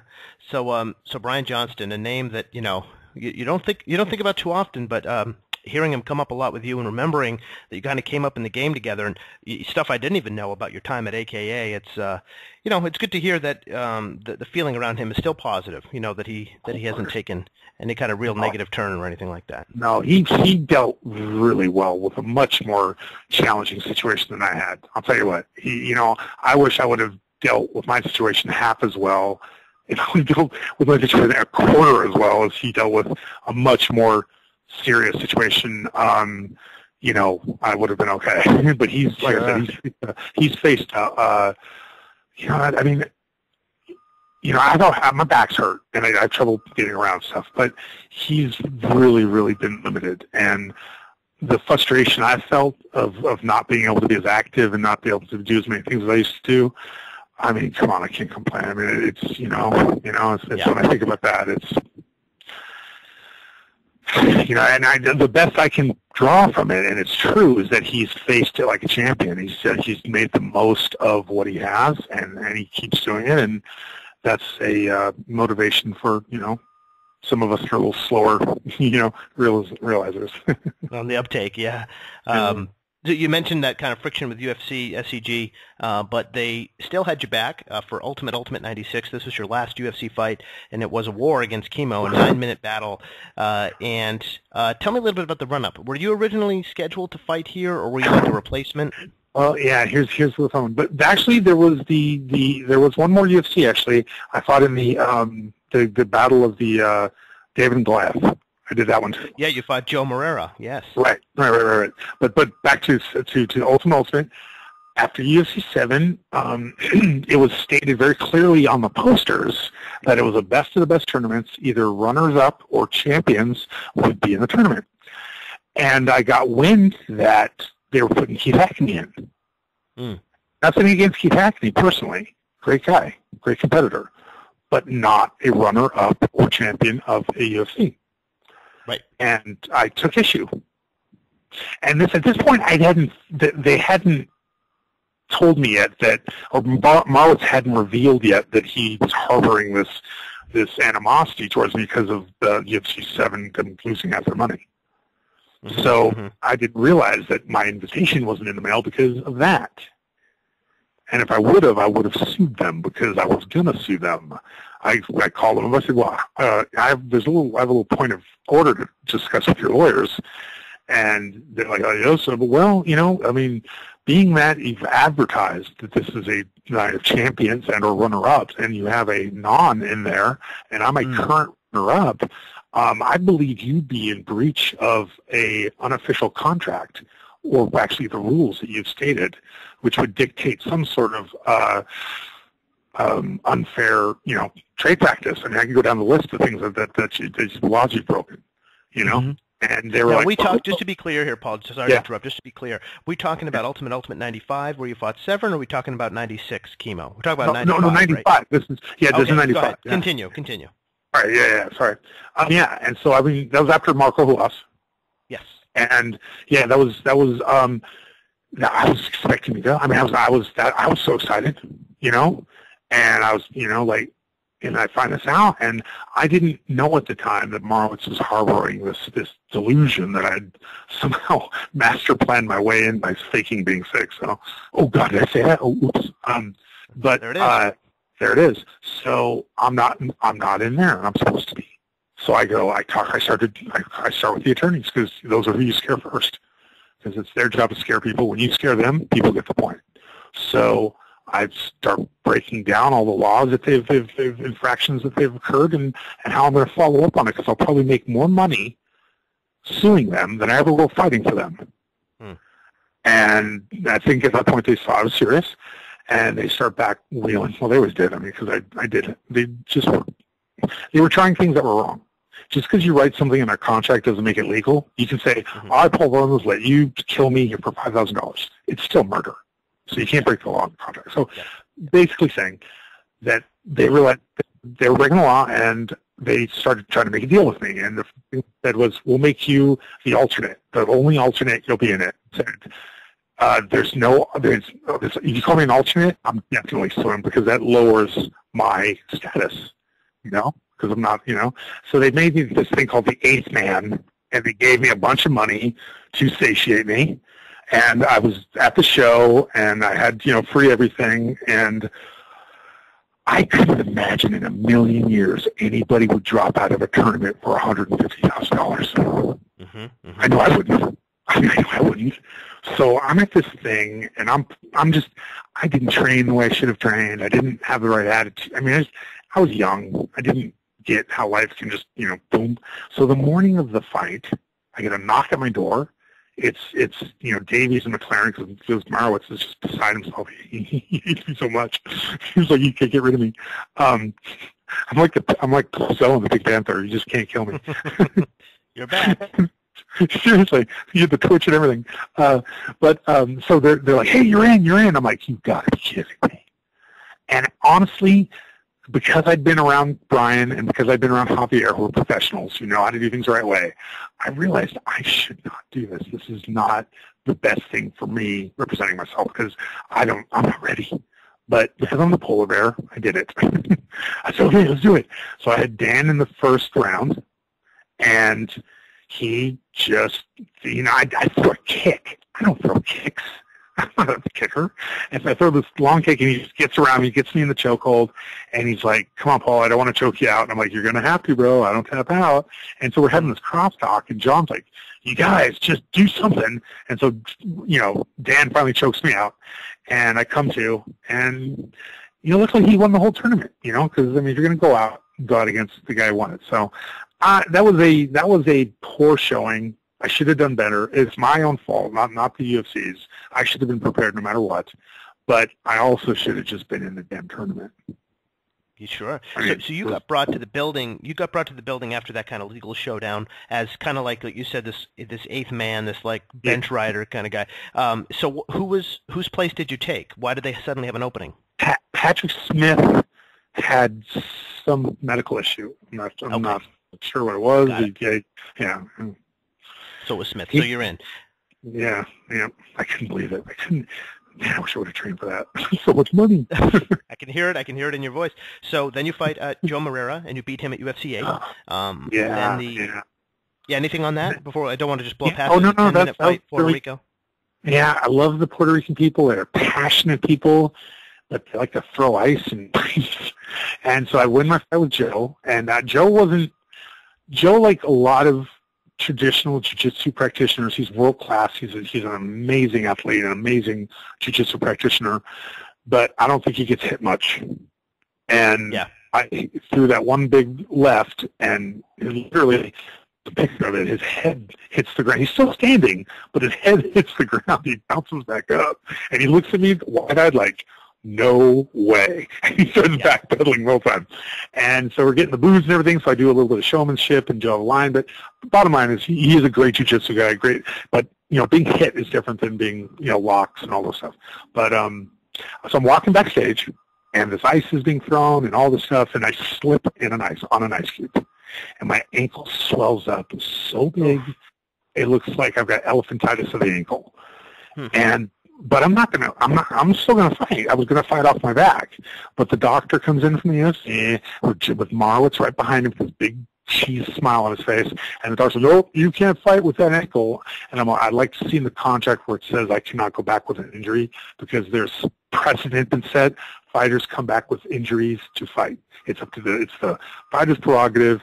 And he's like, "This is my medical." Da, da, da, and somehow I let them talk me out of it. Like we had an argument over it, and right, I was right. I mean, everybody gets hurt in in in a fight, and you just work with it. So I would I hopped out on one foot, dropped into the into this guard, you know, into the you know into the guard position, and done like you know like like the like the one Gracie did against um um uh, Oleg, you know, and he mm-hmm. successful. He knocked Oleg out. So I mean, it wasn't it wasn't a plan that was not workable. It was a workable plan, but they they they just denied me my right to fight, and Marowitz was looking for that, and that wasn't my last UFC. That was the last one, and you know, not that I couldn't have done more, but I, you know, that's just before they banned it. And right, yeah, and the whole economics changed and everything was different. After that, you did the Ukraine show. You fought uh, Shinji Katase in New Japan, and then you had your final UFC fight, Ultimate Ultimate '96, Kimo Leopoldo. Yeah, uh, yeah. I almost forgot that. I almost, oh my god, I almost forgot. Sorry. yeah, it, it, was kind of a it was a pretty clean break there for a minute, but I guess you you filled in for Shamrock, right? Or right, Coleman, right. Coleman, Coleman. Oh, Coleman, Coleman. Yeah, yeah, that's right. Yeah, I, wow, that's when that one's so. That was so. Um, yeah, that was. Yeah, and you know something? What's sad about that is that's when I really got to hang out with Gary for the first time. We hang, we hung out and had a really good time, and he's got no recollection of that. And I'm just, right. it's, it's a bummer, you know. But but yeah, so so fighting Kimo, I was really big. I was like 420 pounds or 430 pounds. I got so big. I was lifting wow. and just just just just I was into power for some reason. I just got on this power kick. And but what I realized is every punch I threw, I got tireder and tighter. All that mass takes oxygen and energy. So, you know, it's really better to be an efficient fighter than a, than a large fighter. But, mm-hmm. but yeah, I hit him and hit him and hit him. He was bleeding from his eyes. Yep. Have you ever seen that? Have you seen that fight? Yes. Yeah, the, the blood trickling there, yeah. He's bleeding out of his eyes, and they could feel the punches through the octagon out into the stands. They, they mentioned that on the thing. And I've never hit somebody so hard in my life. And he's just not, he's like I wasn't even knocking at the door. And eventually, he's pretty wore out too. And I just gasped because Big John's standing on me like, if you, hit, you, you know if I hit him, I'm going to break you, I'm going to break you. So I just go, boom, boom, until I just gasped. I gasped out. It looks like he, it, it kind of looks like he does a, ch- like a, like a, a gi choke on me, but I'm wearing a t-shirt. Yeah, like so he uses no, the shirt. Yeah. Yeah. Well, I was. I, I hit him till I gasped out. Yeah. I literally had no wind left, and he won. He won. He, he won. There's no way around it. He won, and um, I wasn't knocked out. I was. I had no wind left. I swear. Um, but he went to. He had to go to the. He had to go to the uh, to the hospital in an ambulance. He was so messed up. Yeah. Like yeah, that was a real battle that was a just yeah. I've never, like I said, never hit anybody that hard, and so he he can't come for the second round, and they put the alternate in, and I, I was like, why, why wouldn't I? I mean, I, th- I thought I should go in before the alternate because I was still ready to go, but like you know, it was just technically they were right, but but I got a little argument with Marowitz like usual. It's our usual motive. Yeah, this is becoming a theme. Yes, yes. It really is. It really is. I mean, literally, we were the Pink Panther. He was he was the, he was the head inspector, and I was like Clouseau, just fumbling through, being successful, not knowing how he's doing it. Wow. Everybody, he doesn't. So um, before we continue in MMA side, this is 96, and I do want to take a quick detour because as a pro wrestling fan, I was fascinated by your match against Taz in ECW, yeah. Hardcore Heaven, Philadelphia. How the yeah. hell did that come together? Well, um, Paul Heyman, Heyman, Heyman, yeah, Heyman, Heyman, Hey, Heyman, Heyman, yep. Came, oh, yeah, he got a hold of me and was like, "Hey, man, you want to make some extra money?" And God, I needed it. Okay, like you know, I was just just scraping by. And he's like, come on, Al, just, you know, throw our guys around. And, you know, I said, I can't lose. I can't lose to a pro. I can't lose in pro wrestling. You know this, right? He's like, yeah, of course, of course, of course, of course. So I get out there, you know, yeah, you know, the hook. And um, the hook was, yeah, yeah, yeah. The sink was, was, was Missy Hyatt when she was in her prime, okay? Let's put it that way. Uh, yeah, yeah. Looking forward to that part of the story. Go ahead. Yeah, yeah. So, so I get out there and, and almost instantaneously, Actually, I don't. I forget what the girl's name is because I didn't really get to hang out with her. But the little Asian girl came up to me. I forget what girl she was, what her name was. I never. Oh, really Kimona Wanalaya. Yeah, Kimona Wanalaya rolls up on me and she puts her hand around me and goes, "Hey, I'm your friend." I'm like, "Really?" You know, I was like, "Wow." I mean, she came up to my knees about right? And. I'm just my imagination's going places it really shouldn't go. So, but then out of nowhere comes Missy and she comes, walks up, puts her hand on Kimona's face, just push, and says, Kimona, like, gone, right? And she goes, no, I'm your friend. I'm like, okay, six foot blonde, gigantic eyes. Um, yeah, sir, you know, and um, yeah, we made friends right there, and yeah, we're good, good buddies. Uh, so that was the that was the sink of the hook. Um, and I did a bunch of shows. I did a bunch of little shows out in the middle of nowhere and had a good time. And and but then the Taz thing came up, and this was on in his in in Paul's mind the the time for him to ask for the favor. Yeah. And I'd been clear, you know, you I can't lose to a pro wrestler, you know, like it's not going to happen. And uh, to make a long story short, we're in a in a locker room. He's got his guys all around me, and they don't realize that he's about to do this. He says, "You know, Paul, you're going to do this." there was an inflection of of of um, how would you say it? aggression like a mena- menacing kind of yeah, sort of a sort of an aggressive sort of like tone, like he had a pair mm-hmm. that he was going to use. And I look up like I just just perplexed, perplexed, and he and he's looking around at the out his guys. I'm like, oh really? This is a they're gonna jump me thing. And so I look out to his guys, and his guys are great guys. Blue Meanie, all of them. They're all cool dudes who wanted nothing to do with Paul's illusion. Okay, so as I look out, and I'm not even expecting this. They just look down, look down, look down. Every guy that I look at, they look down, and that's the universal sign of we don't know what the hell he's talking about. Okay? Mm-hmm. And so I come back to his eyes and I sit down very, very gravity. I just let gravity take me to the chair. Almost blew the chair out. And I'm all, so now do you understand where we are? You just fucking threaten me? And before I the whole half was empty. All those guys were gone. They just boom disappeared. All the stuff was still there, but it was me and Paul. And so we had a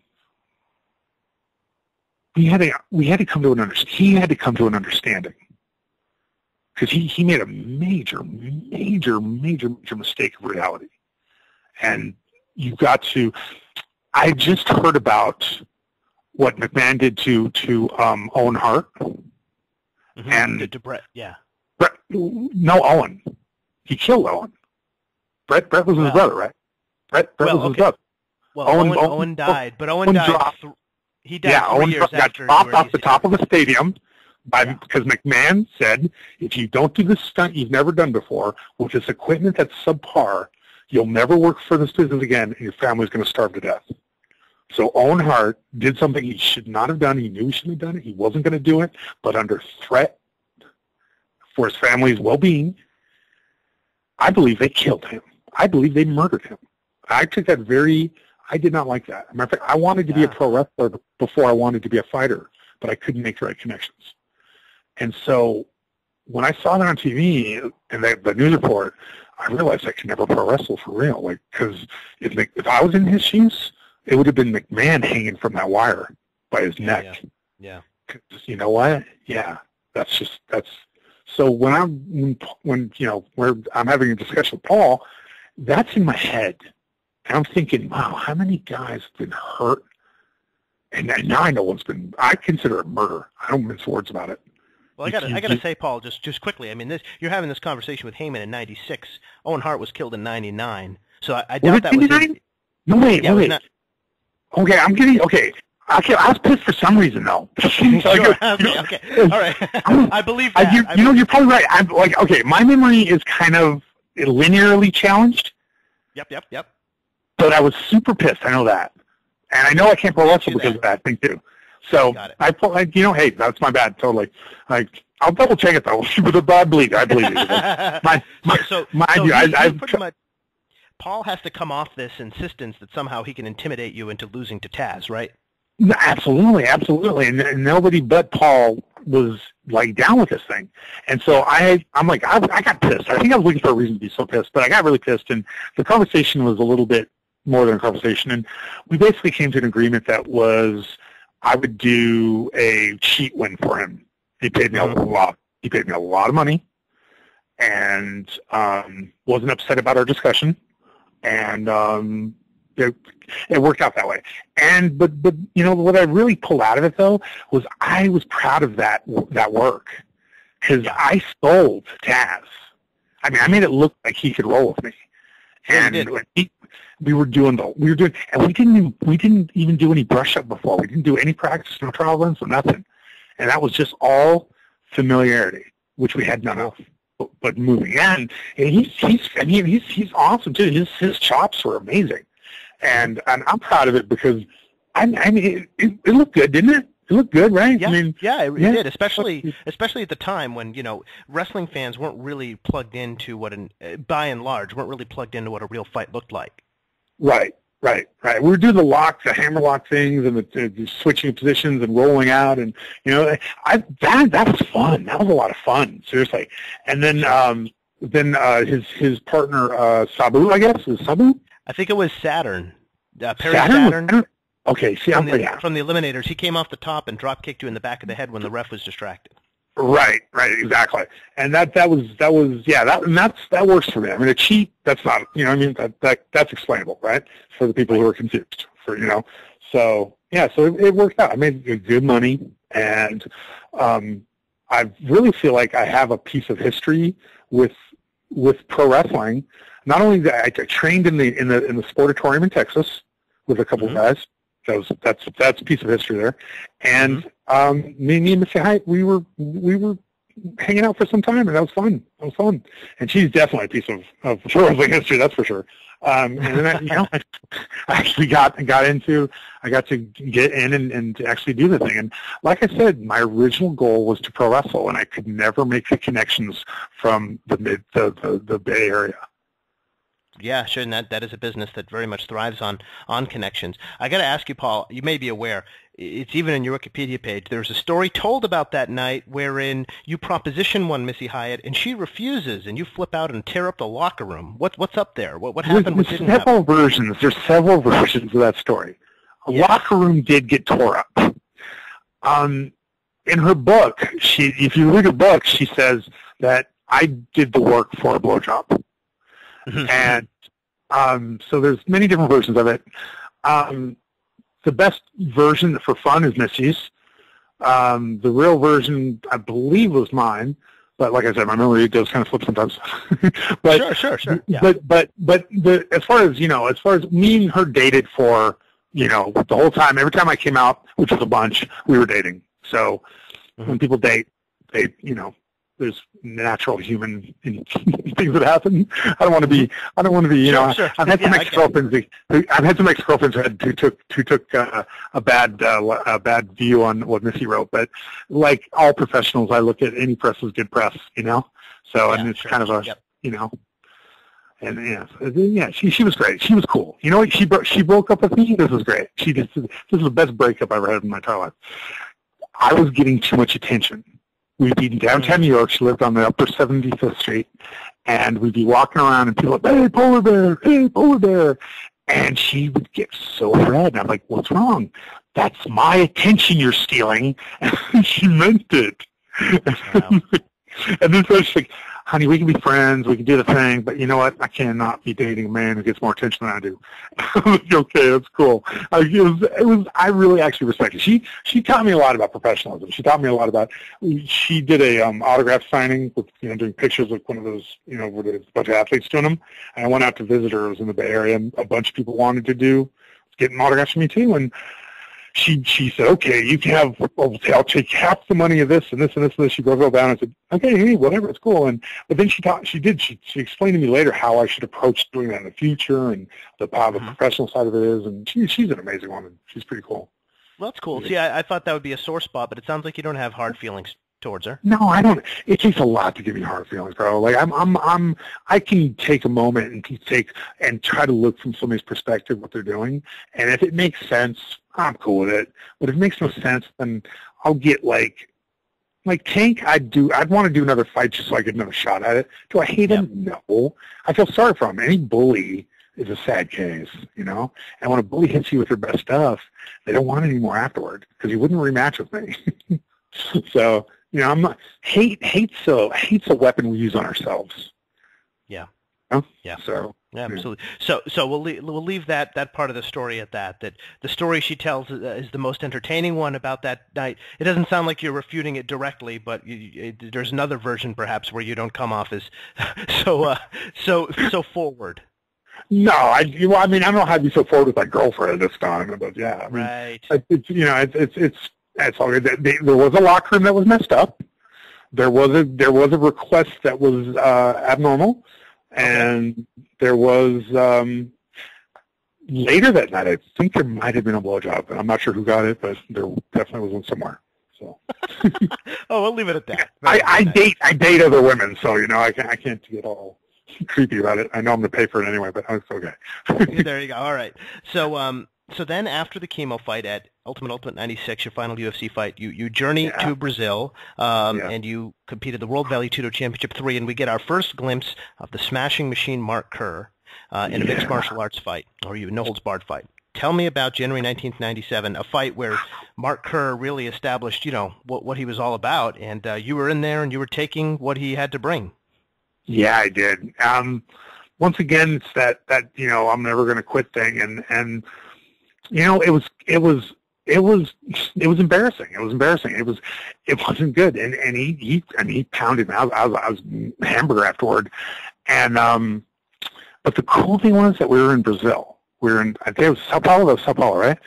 Um, I think so. And the yeah the the fans after I get up after an immense amount of being pounded. And all I'm doing is like I'm throwing this fist out, trying to like, like find where he is, and he's just dropping knees, dropping punches, dropping knees. I'm just like his hands going. Uh, I'm trying to hit something, and kind of uh, trembling, cover your face and, and fight at the but, same time.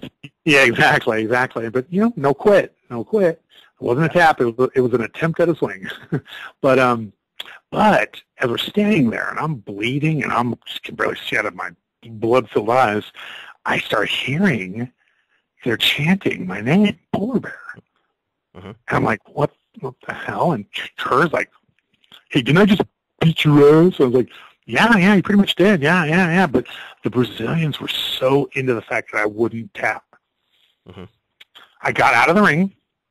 They're all patting me on the back, like, when you get technique, you'll destroy him. You've got heart. Like, it was awesome. I never felt so great after being so manhandled. There's no, yeah. not to make chops about it. But they didn't, they made the point that, that I'm most proud of is that I showed no sign of, of my will bending. And they appreciated that in a big way. And, I'm, you know, it's, it was, it was a I love Brazil. I love Brazilian people. They're passionate people. They they they they if you're friends and your family, they'll do anything for you. And and and they just have a such a passion about life and, and such loyalty to their friends and loyalty to the good things in life. Um, I love going to Brazil every time I went. I want to. I want sure. to. Yeah, yeah, it was, it was awesome. That was a fight. and it was sort of one of the last fights like it as no holds barred fighting evolved, guys got more proficient in general, and you saw right. you know guys right. much more three dimensional skill sets f- fighting and eh, where one of the last fights where I remember where it was like, what must it be like besides horrifying to be a guy on the bottom in a position like this? You know, it's just I, I, I always wanted to ask you, what. I, you know, it's funny you say horrifying. Is that that I I'm missing the, and not for good reasons. Okay, for bad reasons, I'm missing the ability to be concerned for my own welfare. Yeah, that must be it. Because I don't know how you're not just like absolutely yeah. paralyzed with fear when you realize how strong this guy is and how sh- how good he is at, at ground and pound. Position, yeah, he got position, he had that technique, and he had that yep, strength. And, yep. You know, and I just didn't. I wasn't. I didn't have the skill set for him, but I, but I was developing it. It was. I was getting there. You know, mm-hmm. but you know, I was just I was behind everybody, man. I was I was like years and years and years behind everybody, but I was still making my ground. And every step I took was worth a ton because of my strength and that, that toughness.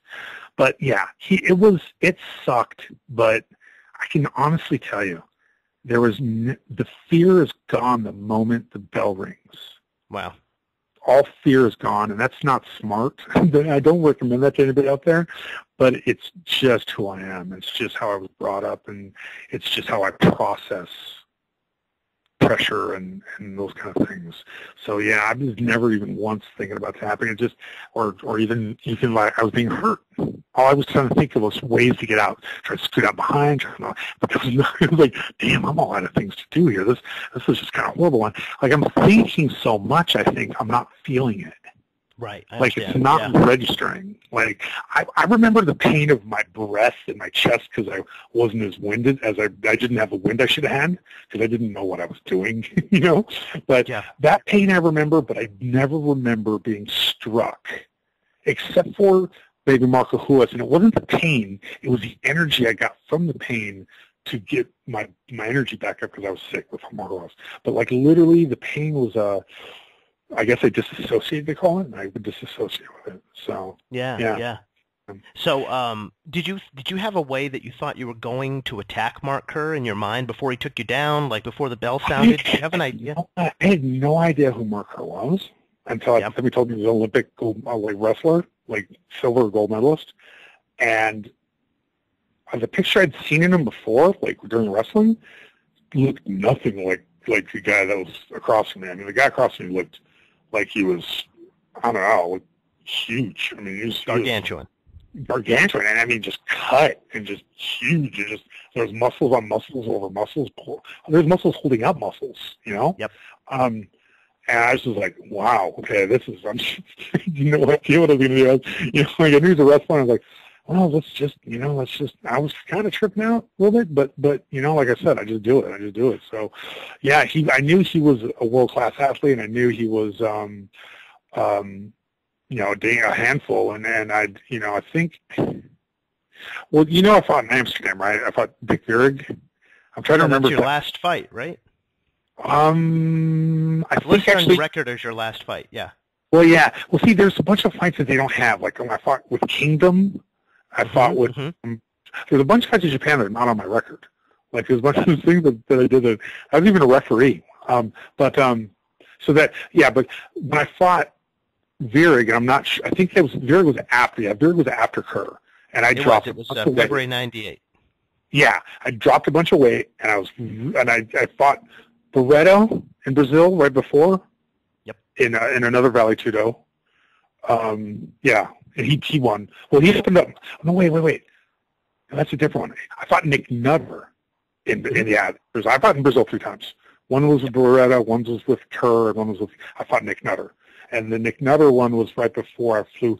I literally had the Nick Nutter fight, and seven days later I fought in Amsterdam. That's and right. Nick, yeah, Nick opened up my eye because they let him wrap his hands, and they didn't let me wrap mine. It's not Nick's fault; it's the promoter's doing. Nick's a great guy. Um, but so I got my eye opened up and they stopped the fight, made my money. Seven days later, I go from Brazil to Amsterdam, and I've got this big open open thing over my eye. And like, oh, you can't fight like that. Well, then pay me. I'm out of here because I showed up. The mm-hmm. contract says I show up. So so like, okay, you can fight, but close that. I'm like. So I just poured super glue in the holes and, and held it shut, and it sealed nicely. It sealed nicely. It worked really well. It stung like a son of a bitch, though.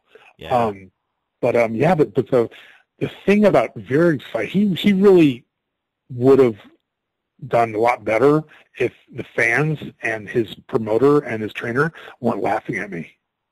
Hmm. Like right before the fight, I got this.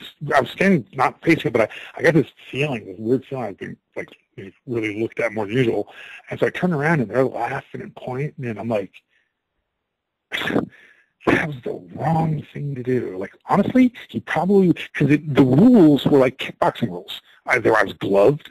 There was like it was basically kickboxing. They were calling it MMA, and Dick was a like like a like a Northern European kickboxing champ. He's, he's amazing. He looks like Thor. Um, and but when they laughed at me, I was like, that just really pissed me off. And he he was wailing on me pretty good, and I'm wailing on back, and you know, I, but I just was angry. I was so angry, it just kept me going. And we just we were like two battleships just firing into each other, just boom, boom, boom, boom. And I think it was second or third round, I caught him with a big hook, and he went like a little bit through the ropes, and everybody in the place went dead silent. Like that nobody saw that coming. Even the referee didn't start counting right away. I'm like, you want to, you want to, you want to count this? He's like, oh, oh, oh, oh, you know. And afterward, his trainer came over, who's a world class trainer. I mean, he's an amazing guy. He came up. He goes, the laugh, huh? It was, it was the laugh. I'm like, you got it. And he, you know, he got, he knew it. He knew it. He came over with it. He's like, it's, we were laughing, huh? I'm like, yes, you did. He probably would have won. Yeah. That was your mistake. And so, um, yeah. is that is that your last fight? Do you remember that as your last fight? Uh, no, I think I had the Kingdom show in mm-hmm. Japan. I, I, know I had three or four fights in Japan, three fights in Brazil. Um, like I said, I, my memory is a little bad too, a little bit bad too. Um, I've got my own issues with memory. Um, yeah. But I have my stuff written down so like I can refresh myself. And sure. but I, I get it out of order sometimes. Um, so uh, but yeah, so it, it, it's around this time, uh, I presume that, that you quit, uh, retire from MMA. Uh, this is listed as your last fight. Um, and and why why did you step away? What what did it come well, down to ultimately? Well, actually, that was when that was McCain. I didn't retire. McCain, that thing with McCain went down. Yeah. Like I wasn't yeah. being invited back to UFCs, but I was planning on how fight in in uh, Turkey and in Australia, and I mean, I was just ready to tear up the world. I didn't care if I did any more UFCs because because Meyrowitz was just such a moron. Mm-hmm. Um, but like I mean, I didn't want it to go under either, and when that came, I'm not sure exactly what date that happened in, but it was right around that time. Like it was close to that time. You know, I was preparing for these overseas things, and then I hear of the UFC getting banned, and I'm like, what? And I heard who did it, and I'm like, hey, that's that's the guy who's the boxing commission guy, and I like so I try I try to help out the sport, you know, and Meyrowitz is just like I think he got sick and tired of all the the court things and all the things he yeah. hasn't go do shows. He just didn't want to fight. And you know, it was his fault he had to do all those court things because they promoted it so negatively. They had to go with the sensationalistic, you know, the meanest, roughest, toughest, most dangerous sport in the world. I mean, they were just opening the door to the problems. Okay, you know, you don't you don't promote something for with a view of it having a future. You know, they were just like that. That's each show they wanted to pump it up so much, even if it made it look like blood sport, you know? Yeah. So yeah. he was he was his own end, you know, and yeah, that was man. And then once once the UFC went under, all the shows overseas, the money went to nothing, or the the shows went away, and um, I wasn't retired as much as I was lost. Like I, I wanted to go to work, but but the building disappeared. Yeah. like, yeah. You know, it, it, and I'm just whining right now because you know what I think of what what some of my friends have gone through, like Brian Johnston and and and Gary Goodridge and stuff. And I, uh, what I'm saying right now is really, please don't hear me crying about it. Just this is just how no, no, I not at all. It, you know, um, when it went when it disappeared, I felt like it disappeared on me. Like the thing I went through my head is like you're either supposed to get too old or injured or not be good enough. That's why you end a sport the sport doesn't just disappear on you. And you know, like I just, I that was a hard transition for me. I felt, I just felt cheated. I was just really getting good, and I, I dealt with it poorly. And you know, in retrospect, it was just dumb. But in the time, I just loved what I was doing. I loved it so much. I loved it more than I had any idea.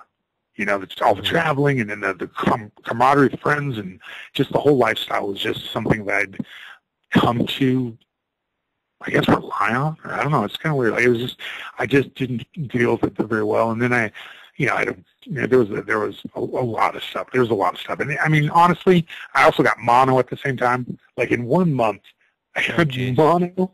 I got my car taken. I got a good friend of mine committed suicide. One of my best friends. I, I mean, literally, I could go down a list that just doesn't end, and I found myself completely empty of any sort of energy, and the mono was a big part of that. So there's a physical, there's a psychological, and it just set me up for like just to be kind of crippled mentally. Physically, yeah. there was a mentally, but not nothing like a stroke. I mean, I, I couldn't say I was, you know, like, you know, that kind of thing. But like incapacitated. Have, but yeah, I was incapacitated, both physically and and and, and very much emotionally. And uh, so, mm-hmm. going through that, Paul, when would you say you made your break from the sport? When when did you say to yourself? I, the sport not, broke for me. Yeah. It broke the sport. And when they brought it back, when it came back finally, I got excited again. But mm-hmm. they put the weight rule in, this 265. In high school, I used to suck weight to make 275. I was wearing the bags, throwing up, spitting all the time, just to make weight for high school 275. I'm a full-grown man now, I got to make 265. I probably could have, but I didn't know about how they drop it nowadays. Like I didn't know they had this right. really amazing weight loss stuff, and I just it just didn't.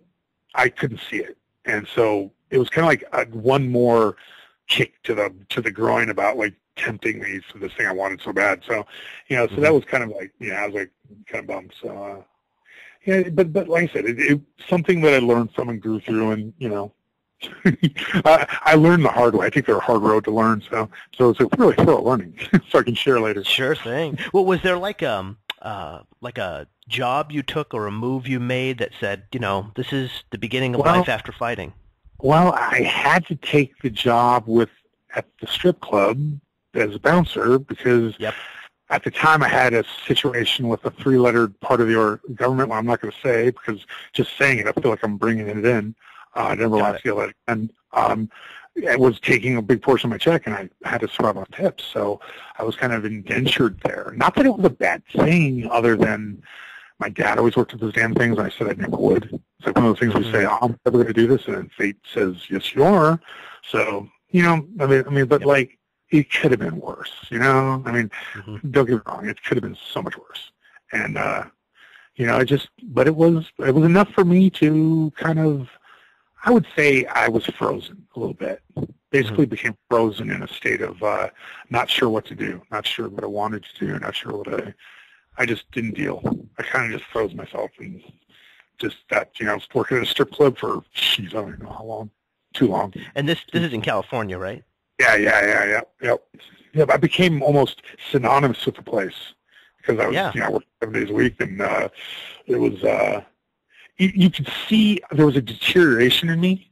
Like I saw mm-hmm. a picture today from the, the net that, that was a picture of me with this other guy, and I looked horrible. I mean, I looked. I mean, it was uh, my. It's like my soul was being sucked out of me, and it was just by myself, though. I mean, I was just not moving on. I was just right. living. Well, here's the thing: all my fans, all the wonderful people who were like coming up to me like, "Hey, when's your next fight? When's the next thing? When's the next that?" I never got a chance to step away from it and kind of, right. you know, like heal. You know, you got to like step away from the healing.